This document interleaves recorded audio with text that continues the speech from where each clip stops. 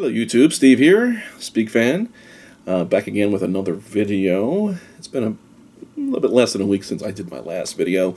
This is another Laserdisc add video. I've got a pretty significant uh, shipment in in the last week uh, from uh, two large collections from two different sellers on eBay and one single Laserdisc.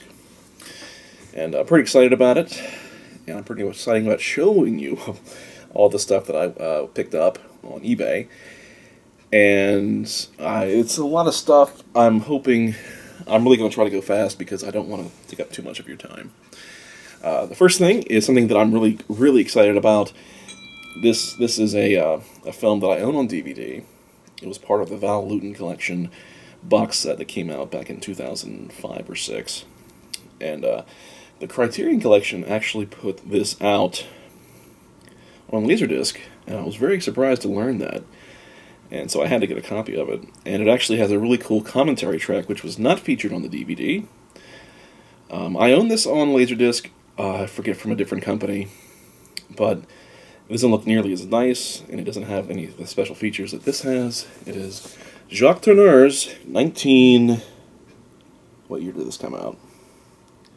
1942 horror classic Cat People. Of course, produced by Val Lewton, who was given a slew of titles for horror films at RKO, and they said, please make films out of these titles. Things like Cat People, uh, The Leopard Man, I Walked with a Zombie, being one of my favorites.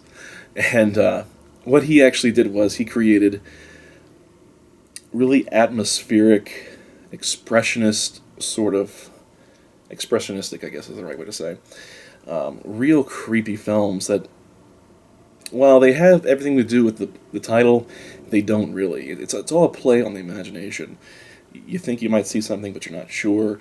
A lot of light and shadow and sound really feature into his films that he produced. Uh, this was, again, directed by uh, Jacques Tourneur, and this features a commentary track, too. Let me see where the commentary... Bruce Eder. Or is it Bruce Eder? I don't know. I'm sorry. And that was not repeated on the... Uh, on the on the DVD. So, I'm very excited to have this. It's a great film. If you haven't seen it, please, please watch it. okay, uh, now for the first collection I received, this first shipment. This is from Laserdisc Vault who um, really, really, really, um, they don't sell anything that's uh, not really nice. These, their releases, I don't think are have any kind of uh, uh, faults in them.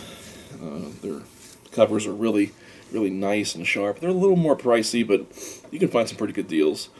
And if you spend fifty dollars, you get free shipping, which I like. so, anyway, this is a film that I actually own on Blu-ray from The Twilight Time. It's limited to 3,000 copies. Now, I got it a couple years ago. I'm pretty sure it's still available. I don't think this is a hugely demanded film, but I really fell in love with it when I went to Noir City 13. Uh, no, I'm sorry, it was Noir City 11, my bad, uh, in San Francisco. It's a film noir uh, film festival.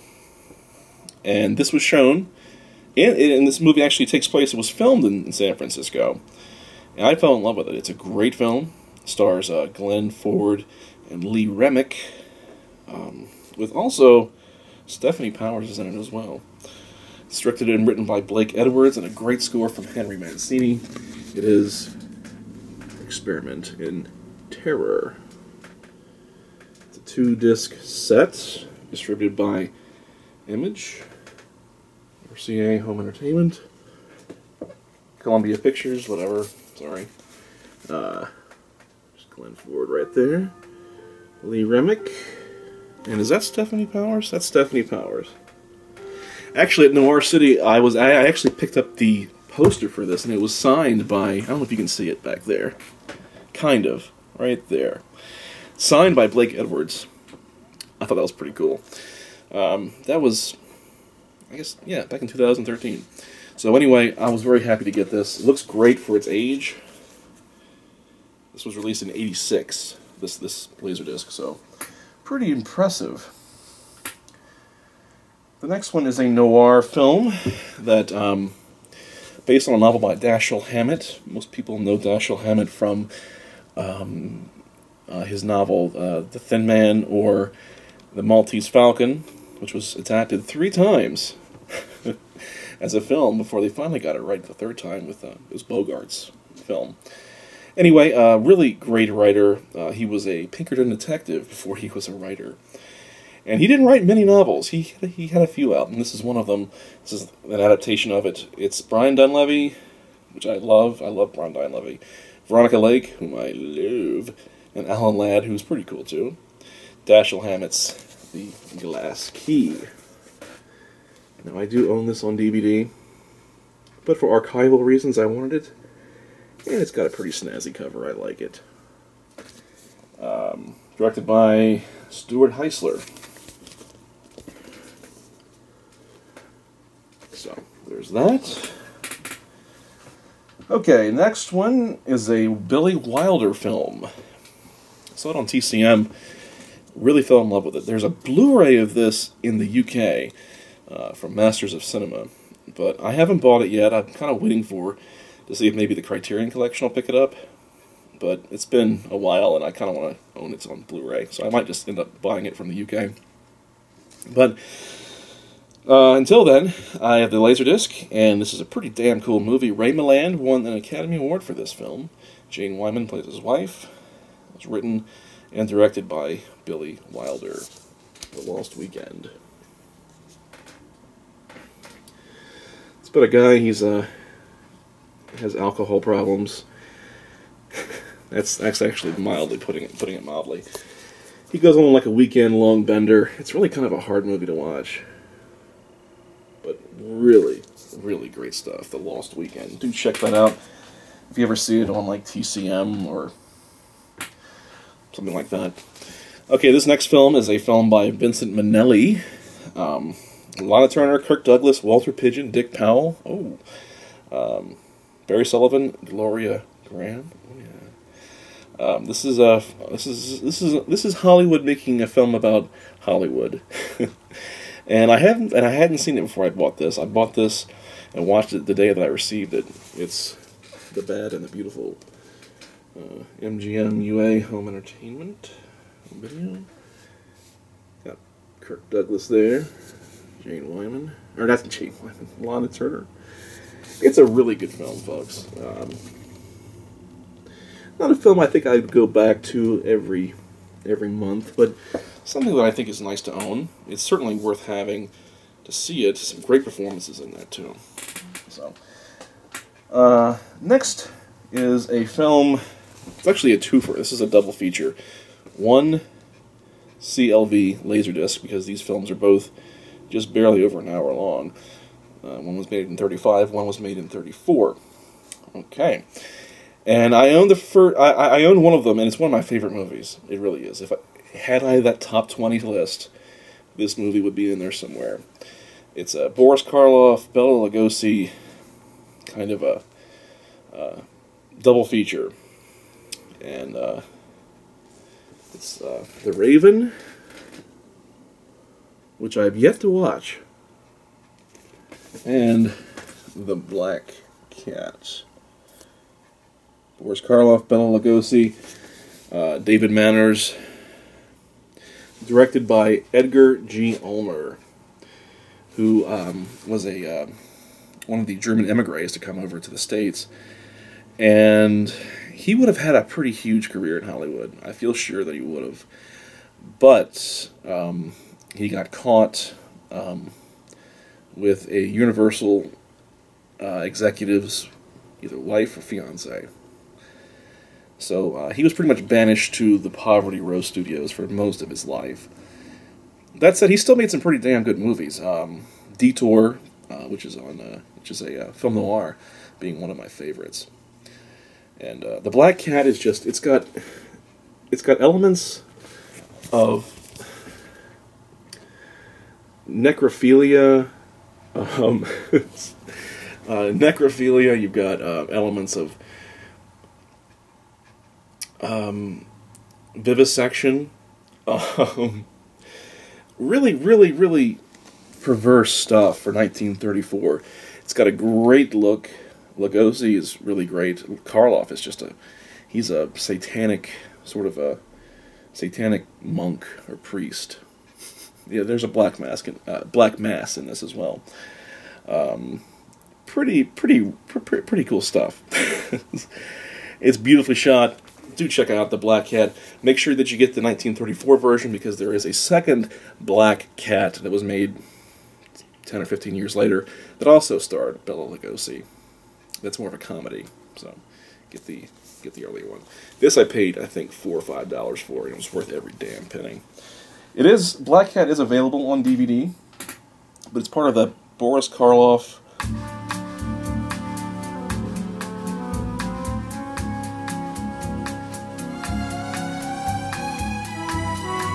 collection that Universal put out five or ten years ago.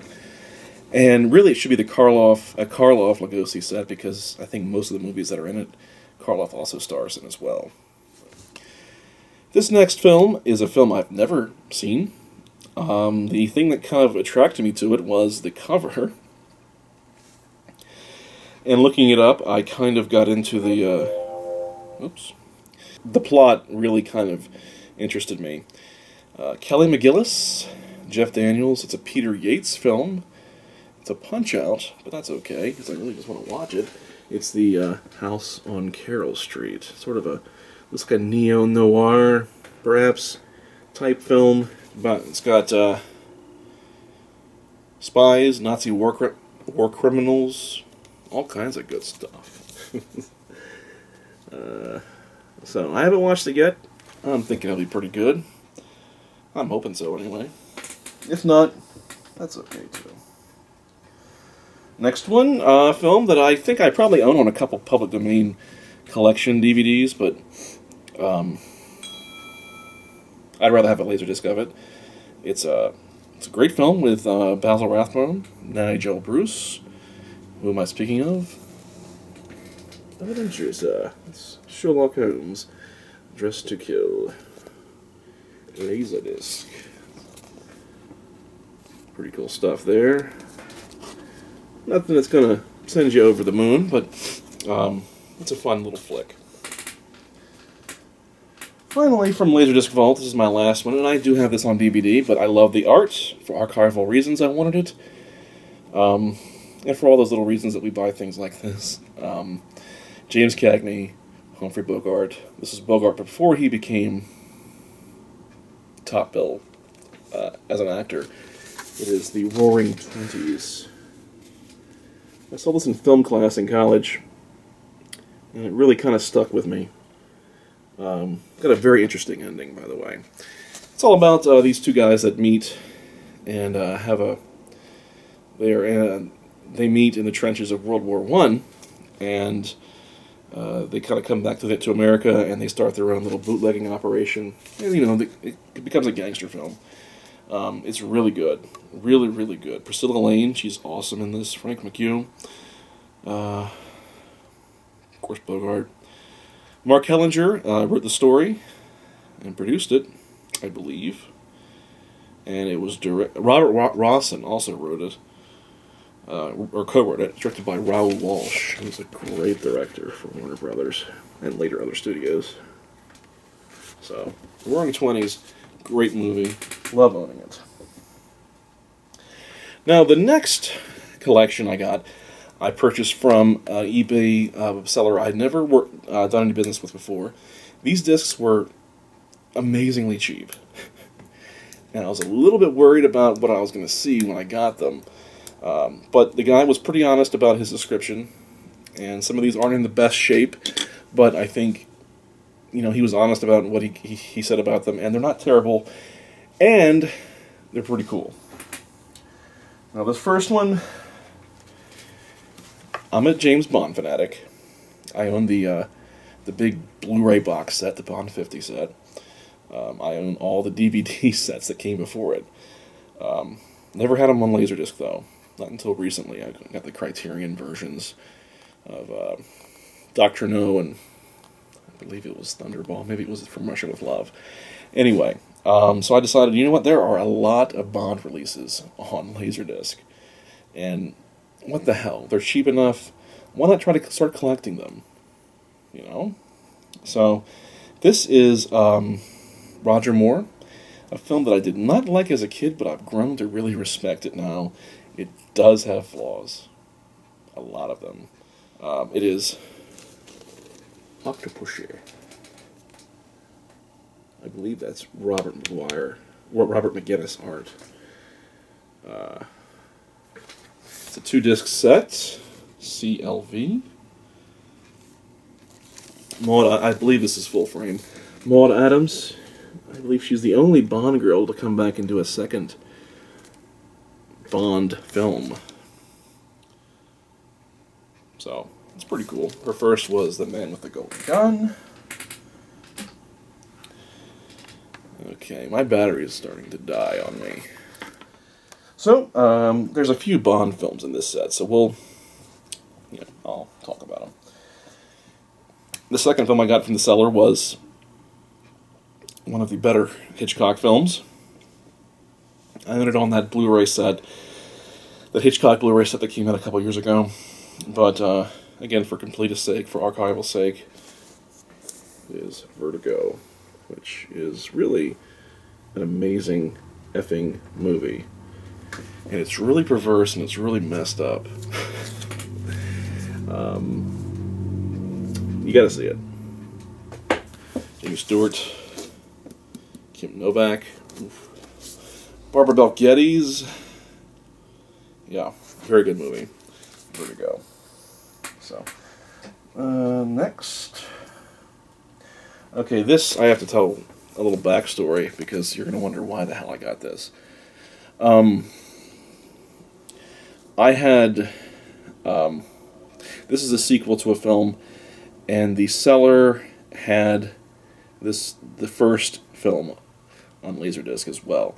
I was going to buy both the original first film and the sequel, um, but he was charging a bit more for the original first film, and for the condition that was in, I really didn't think it was worth paying like seven or eight bucks, but it just wasn't worth it to me. I could find a better copy with a little more expensive, but nicer.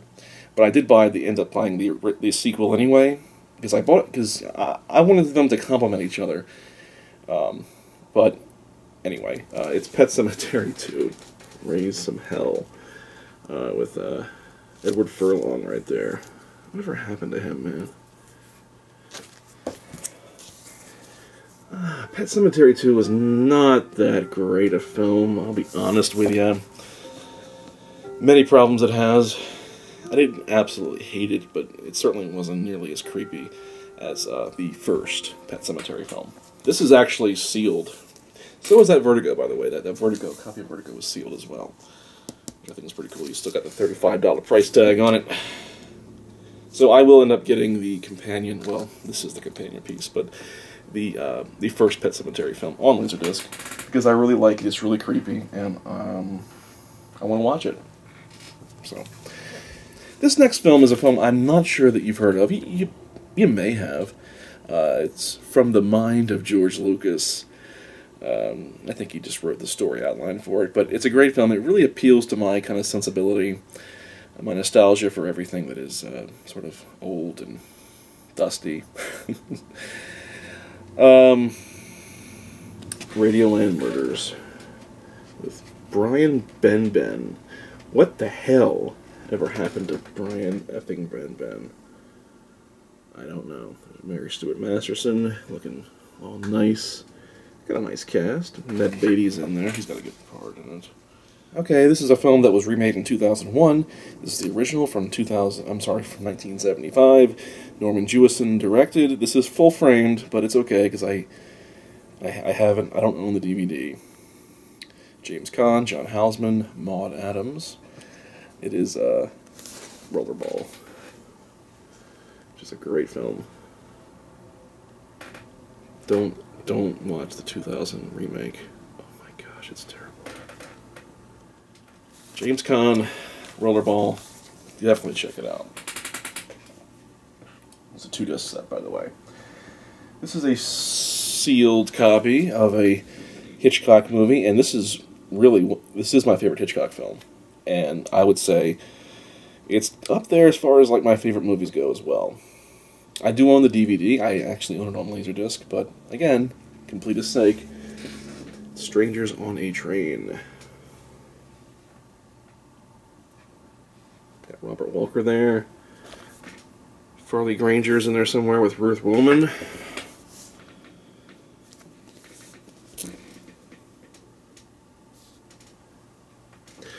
I just read that David Fincher and the author of was it Gone Girl? I think that's what it's called.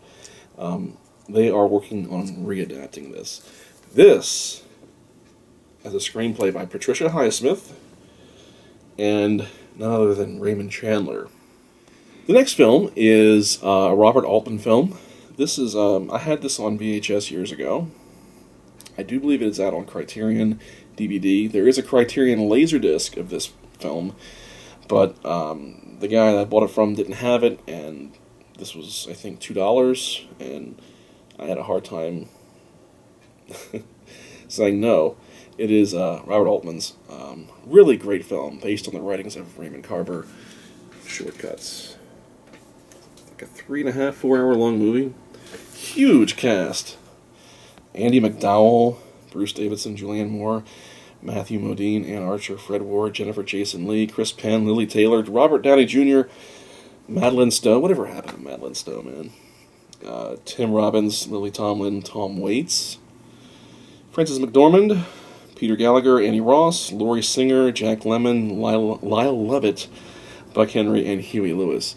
And I will say that Huey Lewis um, exposes a little bit more of himself than maybe uh, we cared to see in this movie. But I guess he was excited to show off what he had. Shortcuts, great movie. Uh, in a previous video, I had mentioned um, I'm a Star Trek fan, but 60s Star Trek really only. Um, I do have the series on Blu-ray and DVD, but I I bought a Laserdisc copy of The Cage, which was the pilot episode for Star Trek with Jeffrey Hunter playing Captain Pike. This was before even Captain Kirk was a bad thought. it was um, it was originally Captain Pike. Anyway, um, I decided I wanted to kind of get the Star Trek TV series on Laserdisc bit by bit.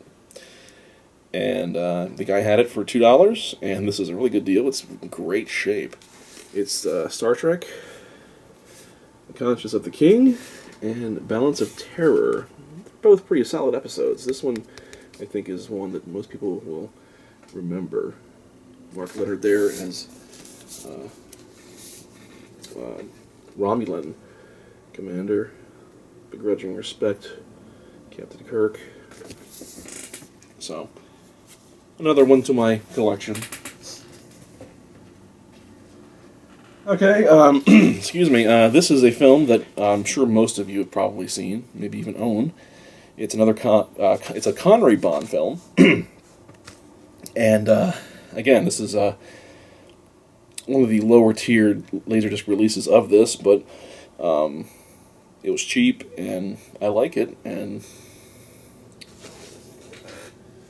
Goldfinger, what a crappy cover, though. I mean, really. They could have found like a piece of art, like um, poster art for this.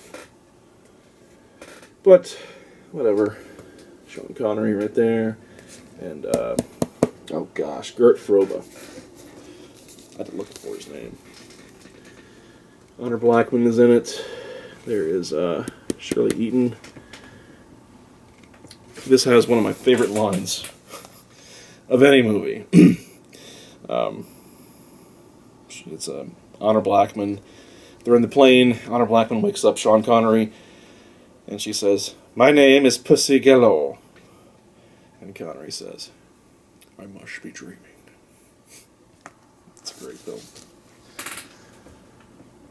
Okay, another Bond. This is a two-disc laser disc set. Again, it's a very lower tiered version of it. Um, and I really, this is one of the only Bond films I cannot stand. And I was even unsure if I should buy it or not, but because he was combining my shipping and this was maybe a dollar, I you know like what what what what the hell? It's for your eyes only. Of course, Mr. Roger Moore, who was getting way too old to play Bond. I love Roger Moore, but um, maybe not for his work on Bond. The next film I have here is a uh, movie that I don't know that's actually ever been on DVD. It might be, uh, but I've never come across it. But I've never actually saw it either. But uh, when I saw that the seller had this, um, it's from Whit Stillman, uh, writer director that uh, produced uh, some really great sort of coming of age '90s comedy dramas in uh, the mid to late '90s. Um, well, early, mid, and late 90s. He did a great film called Metropolitan, which is on the Criterion Collection. And in 97 or 98, he directed a film called The Last Days of Disco, which I love that movie. And that's on the Criterion Collection as well. I own that on Blu ray. this was sort of like his in between film. It's not been. It's not as talked about as some of these other films, but um, it's really good, I think. Um, I used to have it on VHS uh, back in the day. Barcelona. Uh, from 19 and 90 I'm not sure. I probably should have looked this up before I started recording. 94. Um, movies like this, Whit Stillman especially, remind me, but in a better way, of like that uh, Lena Dunham shows on HBO, Girls. Um, I'm not really a fan of it, but my wife loves it. So I've seen quite a few episodes of it, and uh, featuring like a lot of really um, 20, 21 year old, 22 year old sort of really self-absorbed um, people coming out of um, you know uh, college and trying to start off on their own in New York, and it can be really really tedious, hard to watch because these people are just so self-absorbed. Yet you don't really like them, and I kind of feel sorry for them. Um, not a fan, but Whit Stillman does a pretty good job of portraying the same type of character but in a more sympathetic and uh, likable uh, way. So, anyway, that's my theory on that. Next film. Uh, this is another one of those films that, you know, I, I wonder why I have it. And I'm not sure. I bought it from the seller for just a few dollars. Um, I think because of the screenwriter more than anything. I really like the screenwriter. Um, kind of a weird reason to want to own a film, but uh, that's what I got. It's a deluxe widescreen presentation. Jeff Goldblum and Christine Lahti. It is Hideaway. Sort of a late, mid to late 90s special effects horror film. Uh, it was based on a novel from, I believe, uh, Dean Koontz, whom I never really read. I never really read his stuff but it's written by Andrew Kevin Walker, a guy I, I called his name a couple different times. Um, I believe it was Seven, the first film I saw his name.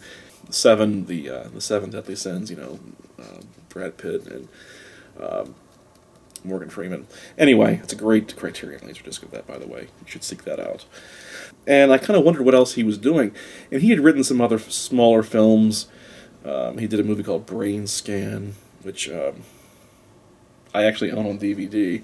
Uh, it's not a bad movie uh, for for what it is. And uh, he went on to do some films like uh, he did a, his script for Eight Millimeter, um, which was made into a film with Nicolas Cage by Joel Schumacher. The movie itself I thought was good, but apparently there's a big difference in the script and the final film. I did buy the script eventually, and uh, yeah, and his version is way better. Anyway. Next movie I own on uh, DVD, Laserdisc, Blu-ray. I own the Criterion version of this Laserdisc. It was not a Criterion DVD or Blu-ray. Unfortunately, this was the first Criterion Laserdisc, and I bought that. But this is not the Criterion version. This is distributed by Image. The reason why I bought this is because it has an exclusive commentary track that uh, has not been duplicated. Maybe you've heard of it. Citizen Kane.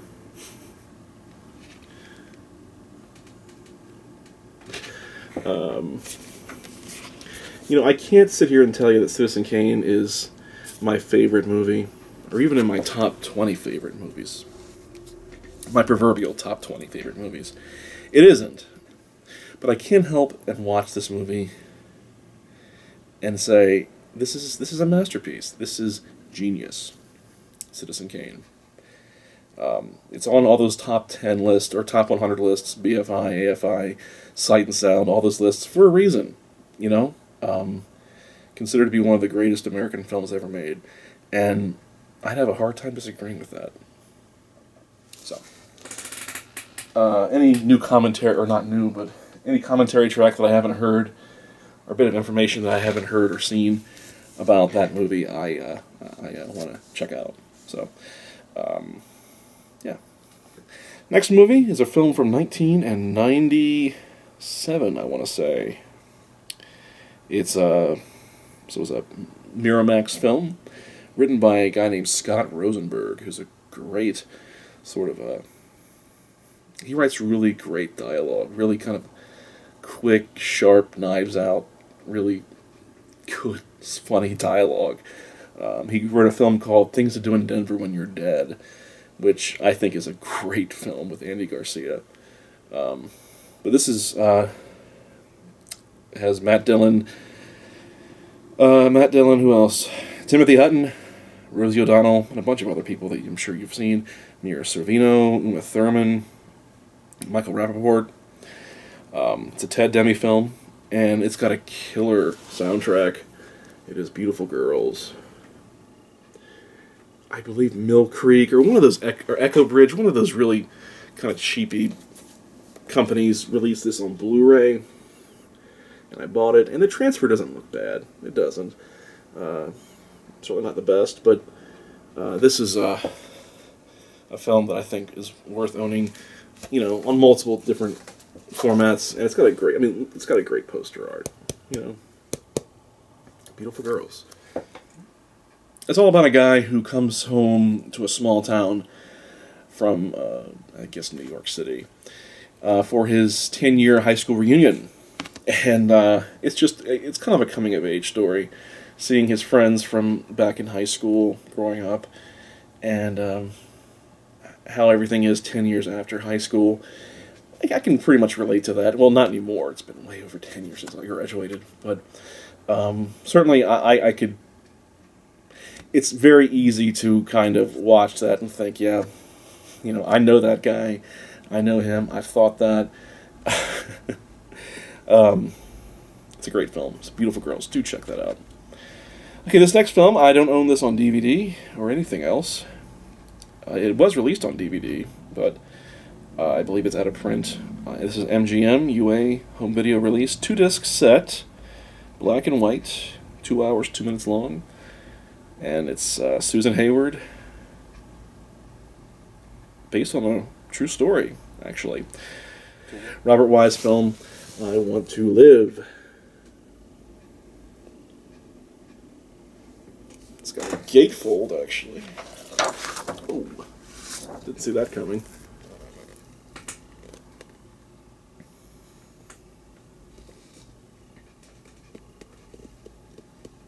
Sorry, it's a little hard to fit that on the screen.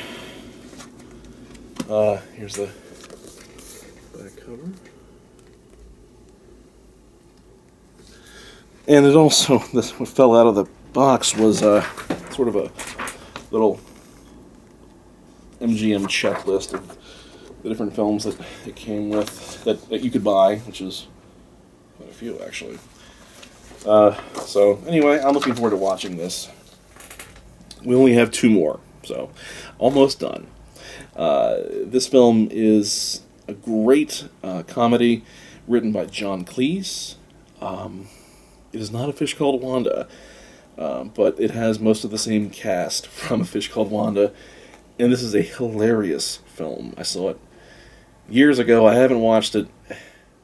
Oh my gosh, I probably haven't seen this but the one time, actually. Uh, it's hilarious. Um,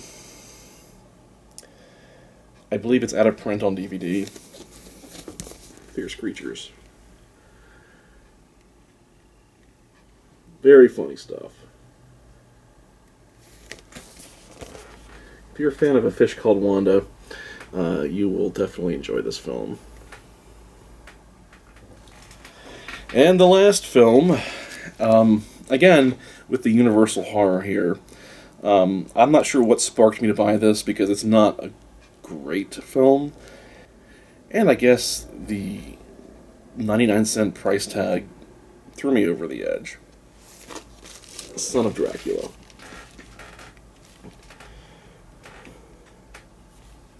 Lon Chaney Jr. there. And he is not. He's no Bela Lugosi.